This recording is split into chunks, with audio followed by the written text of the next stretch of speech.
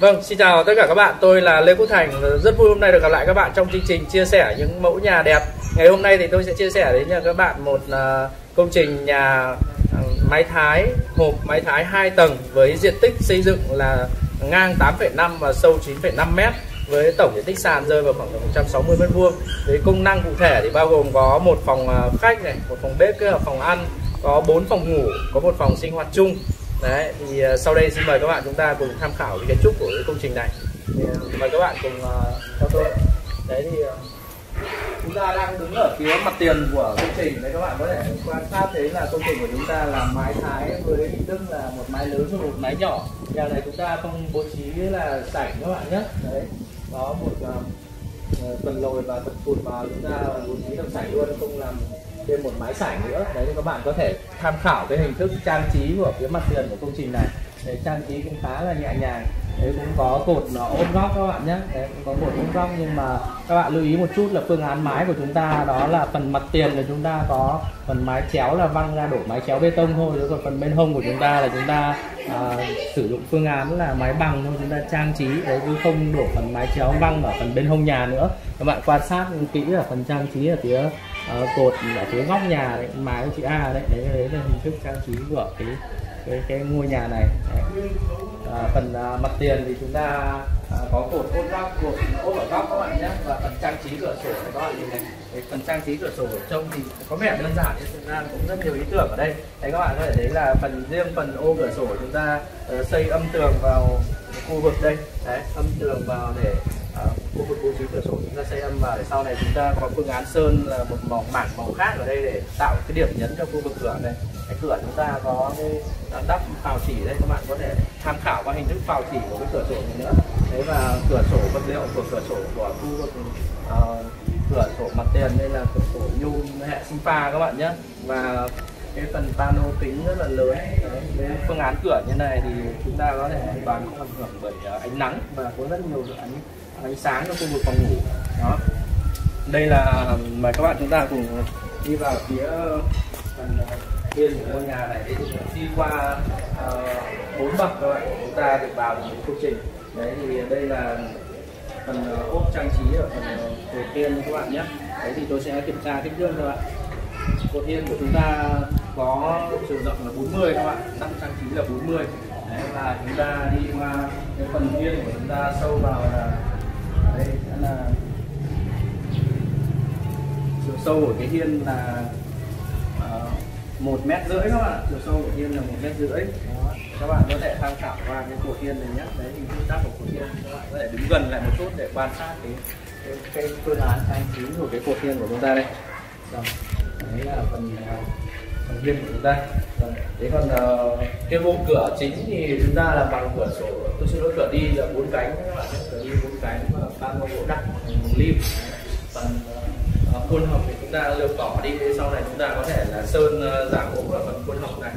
Đấy. để giảm kinh phí cho ngôi nhà và phía trên chúng ta cũng để ô thoáng các bạn nhé. Để đổ cái tô đổ để ô thoáng ở phía trên. Vâng, ok mời các bạn chúng ta tiến vào không gian của thì đây chính là không gian của phòng khách. Đấy các bạn có thể thấy là không gian phòng khách rất là rộng. Đấy chiều rộng của tôi xin lỗi chiều sâu của phòng khách là lên đến là 7 m 6 chính xác là 7 m 65 và chiều rộng là 3 m 65 các bạn chiều rộng là 3 m 65 sử dụng. Đó, và chiều cao tầng này chiều cao tầng để kiểm tra các bạn là cụ thể chiều cao tầng là 3 m 6 các bạn nhé. Chiều cao tầng là 3 m 6 các bạn có thể thấy là không gian bố trí như này thì cực kỳ rộng. Phòng khách rất là rộng và bên hông của phòng khách đây có bố trí hai ô cửa sổ. Bố trí hai ô cửa sổ lấy gió lấy sáng nên khu vực phòng khách của chúng ta rất là nhiều ánh sáng nhiều gió rất là mát. Đấy qua bạn phía cuối của chúng ta là lát sẽ giới thiệu cho các bạn khu vực uh, phòng uh, bếp và phòng ăn ở phía cuối này. Còn đây là không gian để uh, bố trí ô cầu thang. Đấy còn phía đây là phòng ngủ số 1 đây là phòng ngủ số 2 mời các bạn chúng ta cùng khám phá cái không gian của phòng bếp và phòng ăn đây là không gian của phòng bếp và phòng ăn của ngôi nhà này. Phòng bếp và phòng ăn. Với đây, sau phòng khách thì có chiều rộng là 4 mét này và chiều dài ở đây là 5 mét 6 các bạn nhé 4 mét và 5 mét 6 đấy, do công trình còn chưa hoàn thiện nên là một số hạng mục chưa xong hết. Thế các bạn lại thấy là với cái không gian như thế này thì chúng ta bố trí bàn bếp ở đây, chậu rửa, máy lọc này. Ở đây có một ô cửa sổ nữa để lấy sáng lấy gió phía bên hông này đấy các bạn đứng ở cái góc đây thì các bạn quan sát ra thì tôi sẽ cho các bạn một chút là phía cuối nhà còn đất nên nó vẫn còn một ô cửa đây một ô cửa ra phía cuối nhà. Rồi còn uh, đây là khu vực vệ sinh chung cho tầng 1 đấy và tắm một bên và vệ sinh một bên. Rồi tắm một bên và vệ sinh một bên. Đây chính là phòng tắm của khu vực phòng 1 chứ đó là tầng 1 đấy đây chính là phòng tắm này. Phòng tắm của chúng ta có kích thước là 2 mét và 2 mét các bạn vuông 2 mét 2 mét các bạn nhé. Đó phòng tắm rất rộng rãi còn khu vực ở giữa phòng tắm và phòng vệ sinh chúng ta bố trí luôn cái hành lang để cái máy giặt luôn. Là đây là phòng uh, vệ sinh phòng WC này thì có chiều sâu là 2 mét và chiều rộng là 1 mét các bạn nhé. Đó và uh, không gian này thì nói chung là với uh, sử dụng như thế này khá là thoải mái rồi. Ok đấy là phòng uh, bếp phòng ăn phòng vệ sinh. Mời các bạn chúng ta đi ra phòng khách ở đây có một cái cửa vào phòng ờ, ngủ số 2 này. Ờ, chúng ta sẽ đi phòng khách để các bạn có cái nhìn nó ờ, hình dễ hình dung hơn. Đấy, đây là giới thiệu các bạn đây chính là phòng ngủ số 1 đấy, phòng ngủ số 1 thì gia chủ chưa hoàn thiện hết nên là chưa bố trí cái đồ đạc nội thất gì cả để các bạn có thể tham khảo qua cái không gian một chút. Thì kích thước của nó là 3 m 25 nhân với 3 m 85 các bạn nhé. Đấy và có hai ô cửa. Đấy thì ô cửa sổ uh, bên bên hông nhà có cửa sổ mặt tiền vật liệu của nó là nhôm hệ sita các bạn ạ. Rồi ok. Như thế là khám phá xong phòng ngủ số 1 mời các bạn chúng ta sang phòng ngủ số 2 thì đây chính là phòng ngủ số 2 đấy, phòng ngủ số 2 chúng ta hôm nay chúng ta đã nhìn thấy từ phòng bếp. Rồi các bạn có thể tham khảo qua một chút cái phòng ngủ số 2 thì phòng ngủ số 2 có một kích thước là 3 m 9 này và 3 m 25 các bạn nhé. Đấy là kích thước sử dụng là 3 m 9 và 3 m 25 rồi ok đấy là phòng ngủ số 2 và các bạn chúng ta cùng à, lên tầng 2 để tham khảo cái không gian của tầng 2 của ngôi nhà này. Đấy, chúng ta đi vô cầu thang ở khu vực à, phòng khách này. Chúng ta có một lối cầu thang để lên tầng 2 bố trí một ô cửa sổ lây sáng là khu vực chứng nghỉ của thang này. Dạ, là đây chính là cầu thang lên tầng 2 và không gian đầu tiên. Chúng ta tiếp xúc đó là không gian phòng sinh hoạt chung. Và đây gia chủ bố trí luôn một cái không gian thờ cúng ở đây luôn. Đấy. không gian sinh hoạt chung của chúng ta thì ờ, có kích thước là 6 tôi xin là 7 mét.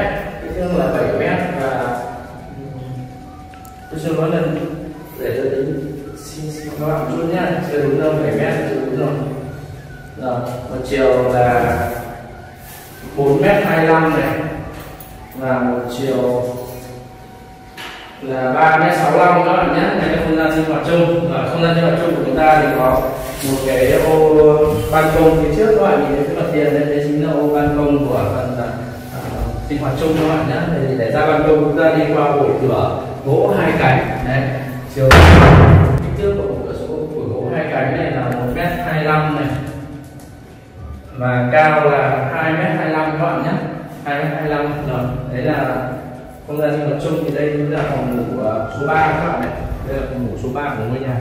Mời các bạn chúng ta cùng xem qua cái cái không gian này phòng ngủ số 3 của chúng ta có cái kích thước là à, 3 mét 25 và 3m9 các bạn nhé. Đấy thì cũng có hai ô cửa sổ. Đấy một ô cửa sổ mặt tiền một ô cửa sổ khuyên hông. Đây là phòng ngủ của các cháu. Rồi ok. Thì như thế là khám phá sau cái phòng ngủ số 3 thì các bạn chúng ta tham khảo cái phòng ngủ số 4 đấy đây là phòng ngủ số 4 này. Cái phòng ngủ số 4 của chúng ta thì ờ, có kích thước là 3 mét 9 này. Và một chiều còn lại là 3 mét 25 các bạn nhé. 3 mét 9 là 3 mét 25 các bạn có thể thấy là cũng có hai ô cửa sổ rất là thoáng và sáng trong khu vực là phòng ngủ số 4 rồi. bên cuối này chúng ta có một cái không gian để ờ, là không gian, có thể là không gian học tập trung cho các cháu, để hoặc là không gian để chúng ta ờ, phơi đồ của tầng hai cũng được. Đấy. Thì không gian này có kích thước là hai mét tư và 3 mét 25 các bạn nhé. Đấy còn phòng vệ sinh cuối à, tôi sẽ nói phòng vệ sinh chung của tầng 2 là một chiều là 3 mét 25 và một chiều là 1 mét 2 các bạn ạ. Đấy 3 mét 25 và 1 mét 2 đó là không gian của phòng vệ sinh chung tầng 2 riêng cái khu vực phòng tập này chúng ta có một cái cái hành lang để ra cái phần phụ phía sau. Đấy phần phụ phía sau chúng ta hoàn toàn có thể làm sân phơi ở đây được. Rất là tuyệt vời rất là rộng. Chúng ta vừa khám phá xong toàn bộ cái kiến trúc của cái ờ, ngôi nhà vuông à, mái thái hai tầng với kích thước xây dựng là 8,5 nhân 9,5 mét. Cái tổng diện tích sàn rơi vào khoảng 160 mét vuông. Cái công năng cụ thể gồm có một phòng khách này phòng bếp với phòng ăn. Có bốn phòng ngủ có một phòng sinh hoạt chung có một uh, không gian học tập cho các cháu. Có hai vệ sinh chung nữa. Và ờ, rất cảm ơn các bạn đã xem hết cái video chia sẻ về cái công trình này.